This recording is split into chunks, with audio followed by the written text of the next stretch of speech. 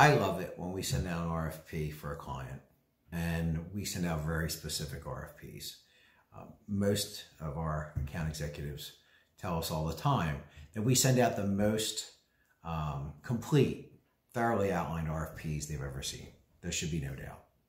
I can't tell you how many times we get RFPs back and we're missing 50% of the information, or they have given us 50% of the wrong information.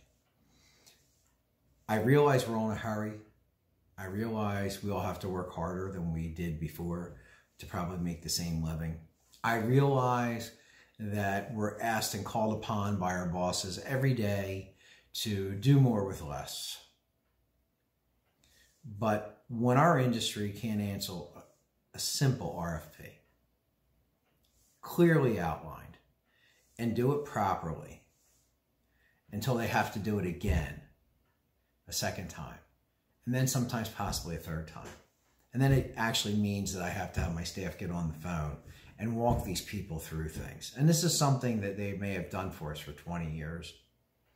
I always ask myself why they didn't have the time to do it right the first time, but they have time to do it three more times after that.